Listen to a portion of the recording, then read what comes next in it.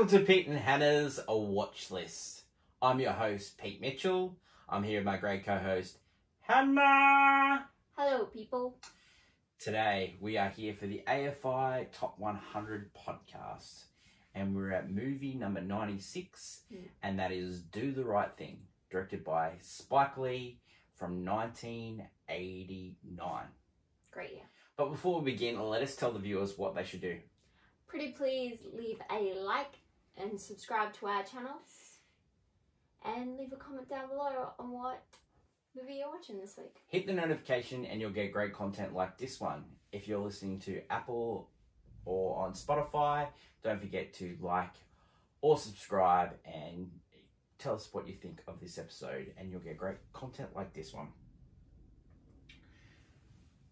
Do the Right Thing was released in June 30th, 1989, Mm. and it was selected in the 2007 re- revisited AFI Top 100 Awards. Uh, movie number 96. It went for 120 minutes. We watched it on Apple Television. We own a copy of it. Um, it's not streaming on any streaming services at the moment in Australia.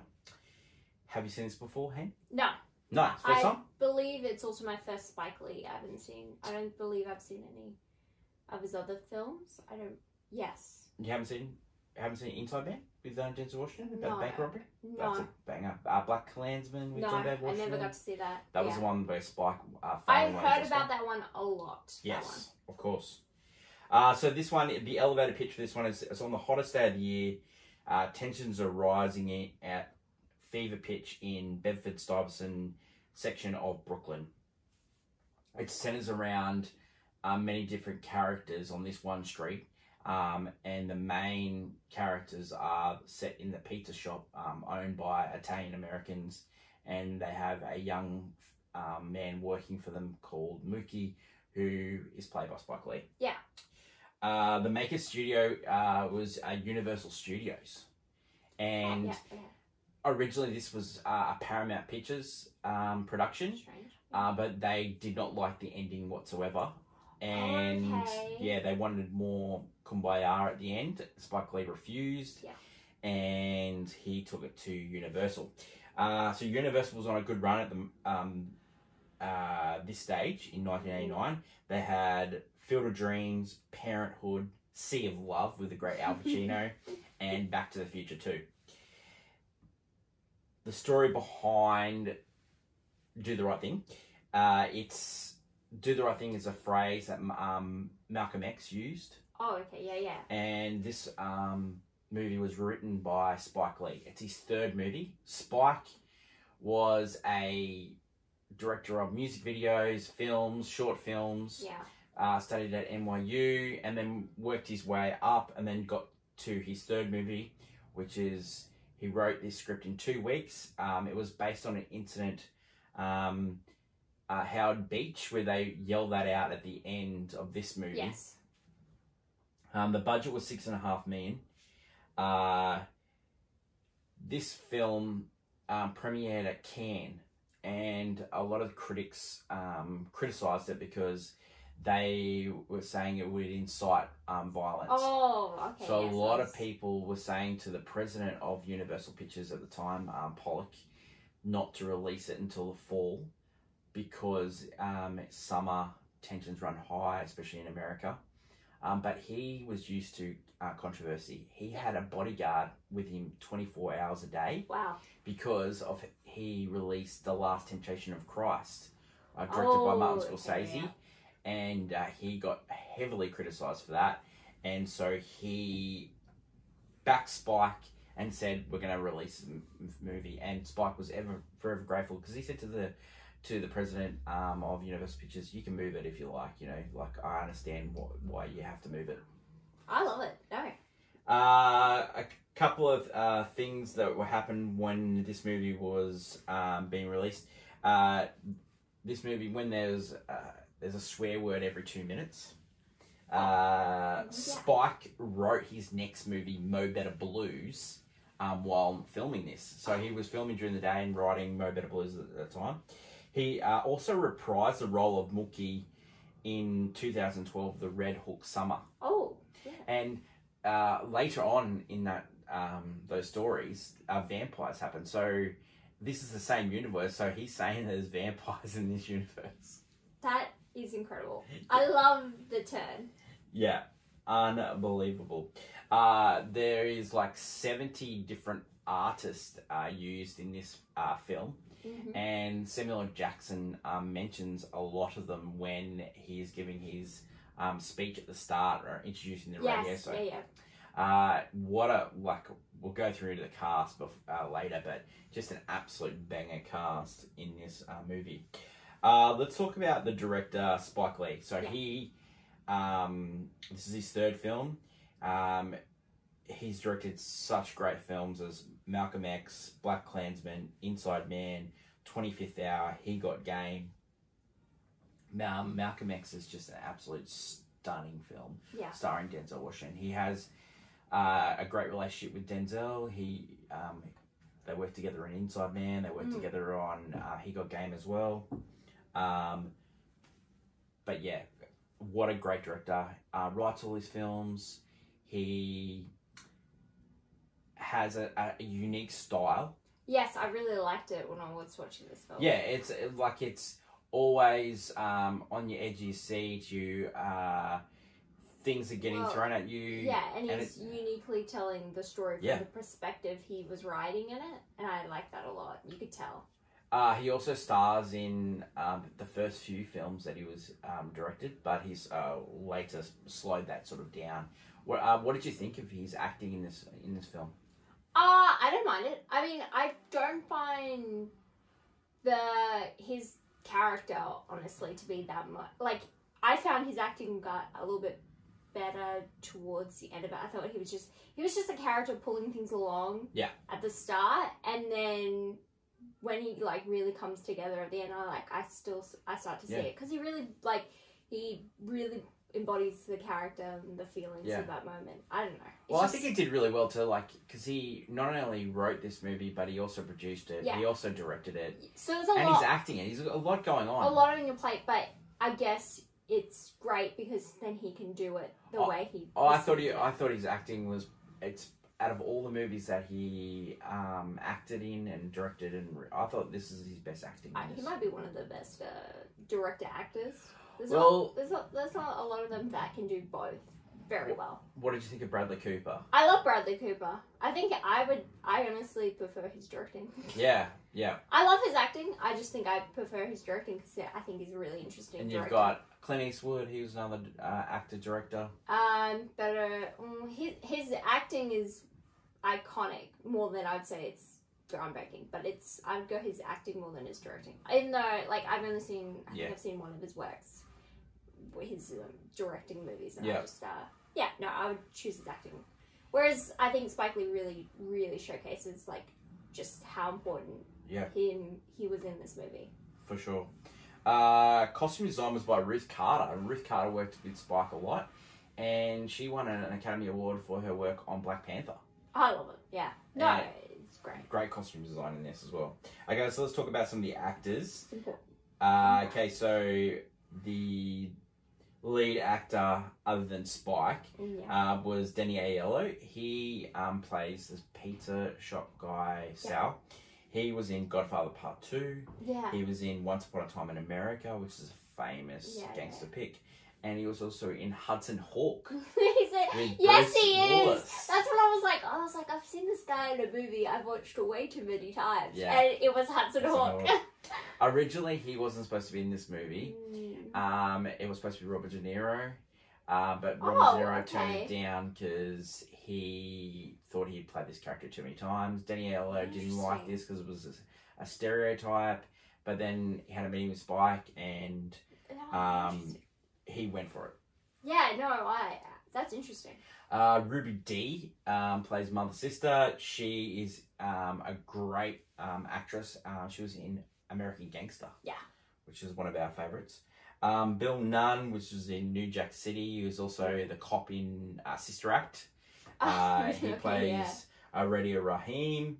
Uh, John Turturro plays Sal's son. Um, Big Lebowski, Transformers. Transformers. Yeah. It's every time I see him. Uh, Ossie Davis. Uh, I remember him as a kid from The Client with uh, Susan Sarandon. Yeah. yeah. okay, yeah, Love that cool. movie. Love that movie. Uh, Giancarlo Esposito, like he's like a, just a famous Yeah, television actor. I love him. Uh, recently he was in Breaking Bad, but he also plays the big bads in in both The Boys and in The Mandalorian. Mandalorian. Was both in.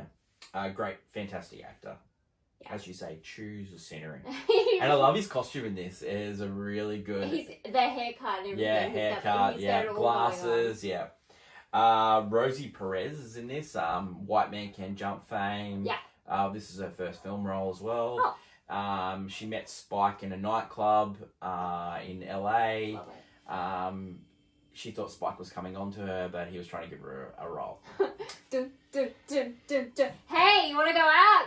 No. Do you want to jump? like, the great um, Samuel L. Jackson's in this and uh, Oh, playing uh, radio uh, DJ. he The just love. the small role, and he's Yeah. he bodies so so much greatness. Uh, Martin Lawrence is this. This is his Yes. first film role as well. He's so young in this. Um, uh, Frankie Faison is also in this. Uh, you might remember from Trading Places.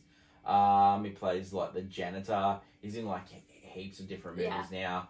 Uh, he was one of the three guys on the stoop, and they were like Yes, um, yeah, yeah. outside the Korean shop, and they were like just constantly. they were all ad lib lines, so that the whole scene of the, those guys were doing. which really works. For Yeah, it really film, works. It's really fun. It's the Yeah. whole. It's also the whole idea of the film having this very Yeah. um uh, realistic, I guess, vibe to the whole, like just you know natural feeling. Yeah. Uh, reaction to the film at the time. So, um, the box office uh, was thirty-seven million dollars, which is pretty successful considering it was a, Yes. a six million dollar film at the time. Uh, the critics at the time, Roger Ebert, loved it. He had tears in his eyes when he first saw this movie. that. He loves a good story.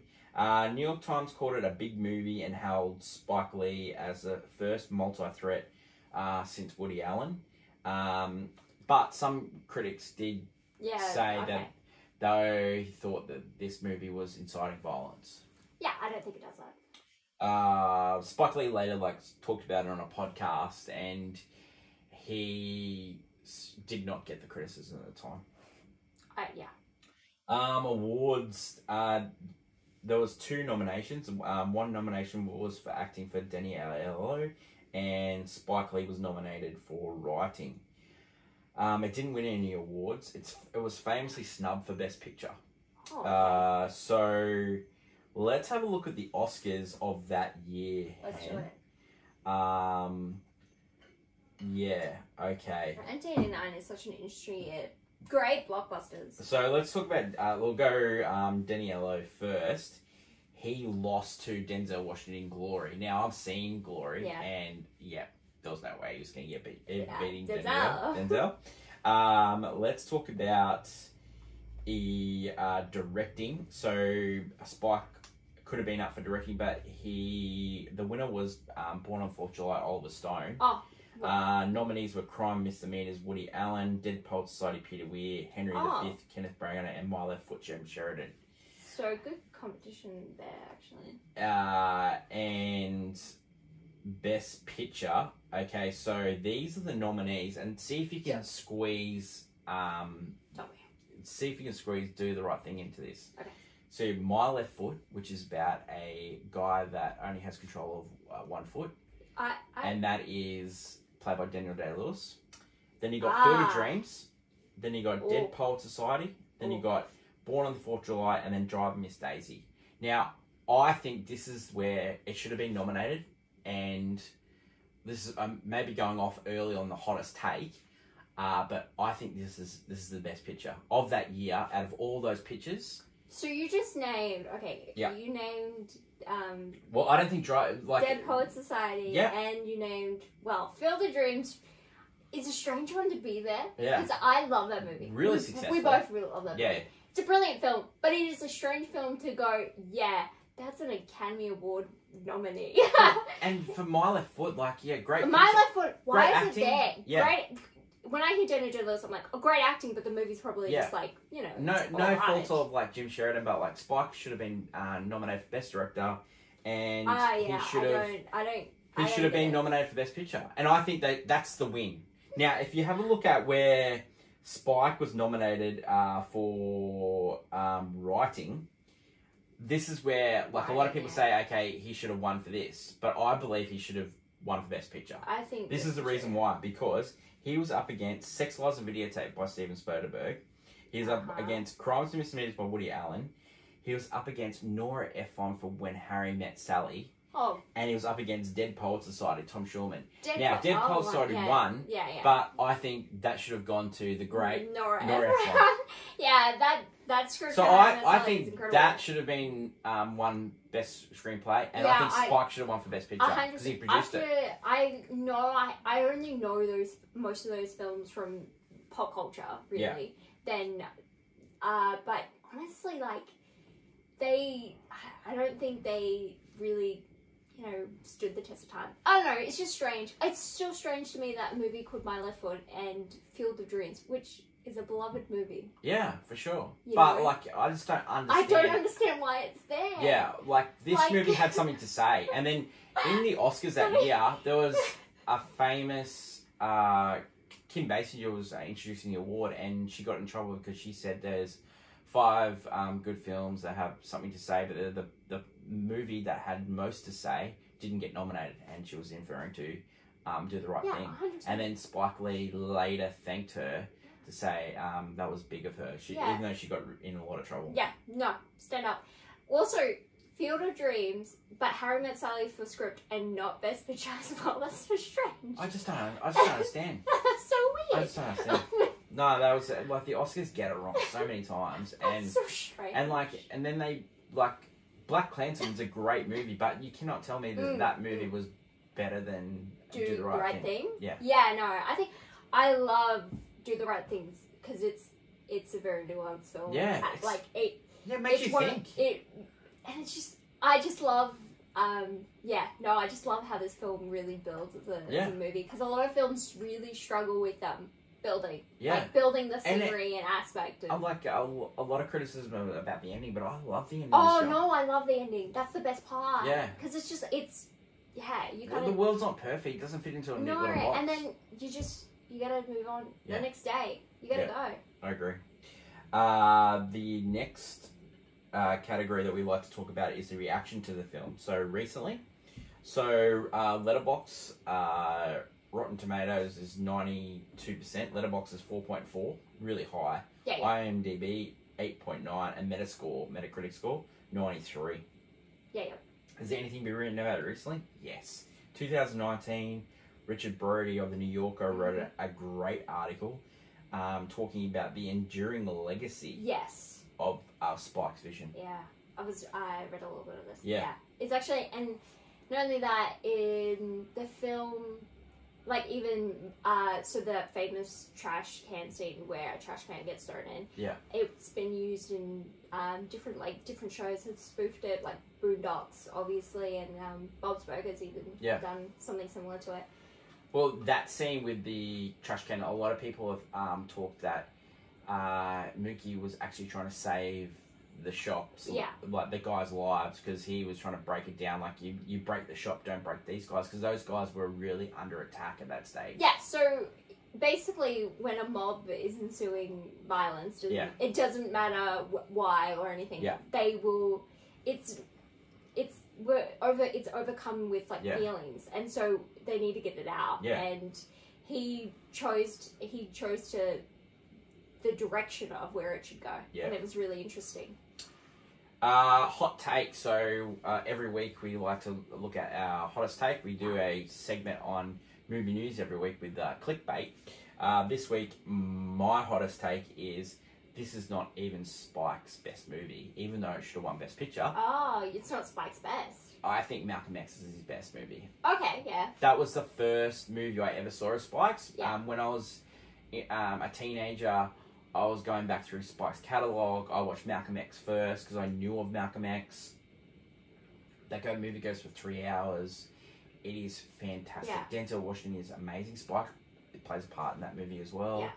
Yeah. Um, it's just, it's so good that movie. It's- It is a, bef- um, um, a man before his time making a, a biopic that actually has something to say. It is fantastic. Is- And if any of those who haven't seen it, it actually should be on this list. This Yeah, I was list. gonna ask. Is Is, this really- is there any more of his work or Spike No. Lee's work on this? It's the only one. This is the only one. Yeah. Interesting. Malcolm X is amazing, and Denzel Washington. Like, I just do not understand how he didn't win Best Actor that year. He was incredible. Uh, so that's my hottest take. Uh, let's go over to our usual uh, reviews. Yes. Um, reasons to Hannah.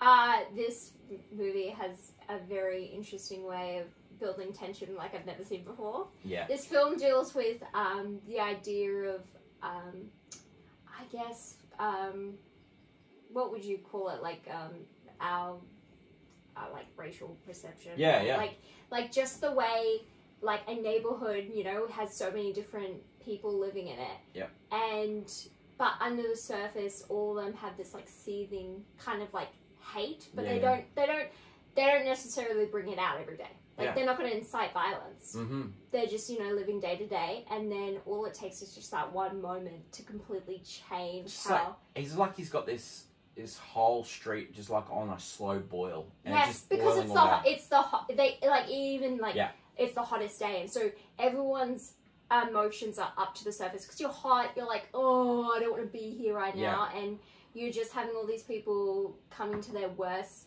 point in life. Oh it's so interesting. I just usually i hate um so i don't like usually multiple stories. I Yeah. don't like i don't love like oh it's one neighborhood coming together because i i like to focus on one character or characters and then build Yeah. but the way he does it in this film is so, So is so good and it really just Other reasons to see. It's got a great soundtrack. Like oh yeah no the the I was banging my head along the track uh. "Fight the Power" by Public Enemy was played at the, the poignant scene um, when Radio yes, Raheem yes. brings the radio into Sal's Pizzeria.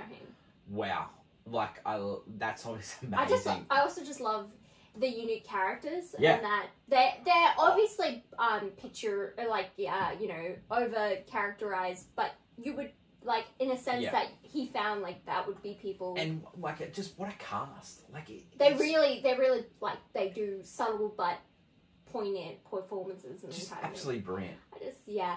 I I don't know. I just really like. I also love the directing of this movie.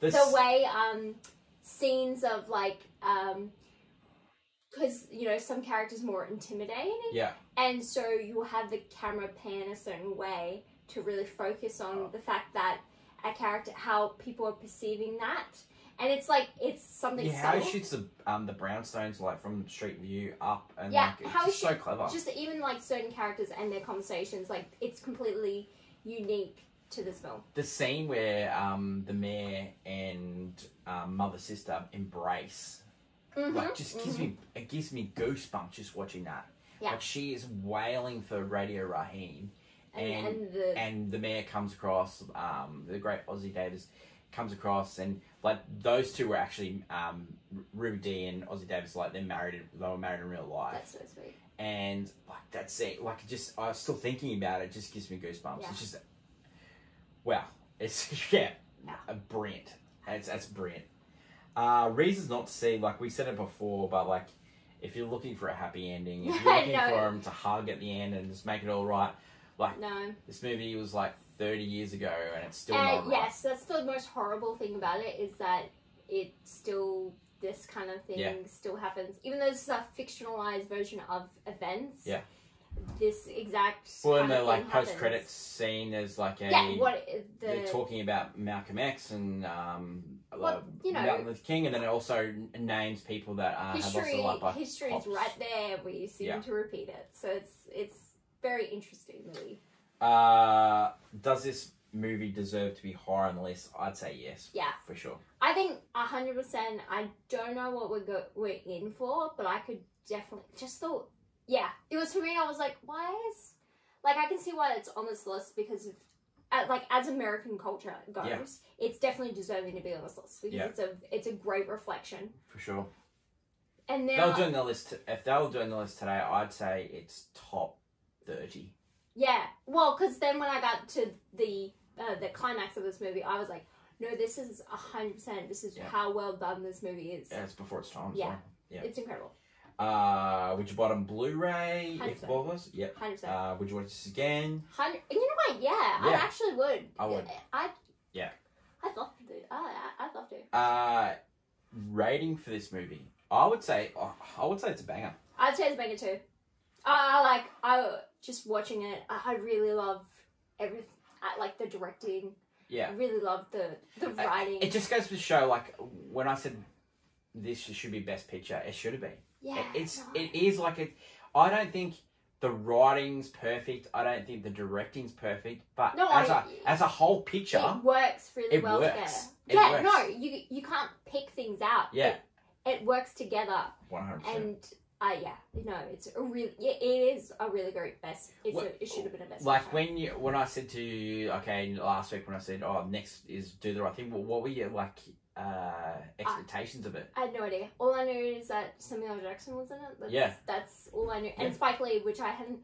My perception, the only things I've heard about Spike Lee were that he sits on the sidelines of basketball courts Yeah. that, and watches Yeah. basketball. Well, if you love this movie, you, you, I think you'd love a lot of other Spikes uh, watching. So yeah, get watching, hen. Yeah. Spike Marathon. Uh, so that is it for Do the Right Thing number 96, and we say it's a definite watch again. And rating for this one is a banger, which is four stars on the Pete and Hannah's watch list. Uh, next week is the last picture show, which is um, Peter Bogdanovich. Ooh, yeah. Uh, you can get that on Apple TV as well. Uh, leave the feedback, good and bad, and we'll read the best ones on the show. Uh, last week, some of the feedback was negative about my takes on Blade Runner. Um, yep, it happened. So you know, I wasn't Thank a you, society. A lot of a lot of people said, uh, yeah, we agree with Hannah and not so Pete. So yes. they didn't find it boring like I did. So I'm sorry about my opinions. Uh, I'll keep them to myself in future. Oh wait, I do a No, new, no, I no, do, no. I, I do love- a new no. podcast. No, no, because society will come back at me one day. Yeah. Um, that is it for the show today. Don't forget that we have a lot of content on the channel at the moment. Yes. Uh, we have the Christmas draft, which we did with Danny and Bonnie, which was um, s- yeah, it was nice messages about that. Um, we'll start voting this week um, for the winner of the Christmas draft. Uh, you can catch that on Apple Podcast, also on YouTube. You can listen to as well, and then on Spotify. Uh, we've got today AFI. Next Mhm. week is um, Last Pitch Show. Uh, this week we have the first annual Watchies. Which drops excited. this Wednesday. Then we'll uh, do a special edition of movie um, What's Next, which will ra- um, Wrap up. Like, wrap up four Boxing Day movies, Mm. which is the busiest busiest day in Australian cinema. Yes. And then we'll have a special Friday edition of movie news, which will preview the next week's movies. Yeah. And then we'll have the usual blockbuster, um, you know, back to 2016 uh, championship belt holder, Henna. Thank you Oh. for joining us Thank today. Um, really appreciate it. Um, until next week, when we watch the last picture show, if you Mhm. can watch it at home if you like before watching the podcast, it's bye for now. Bye.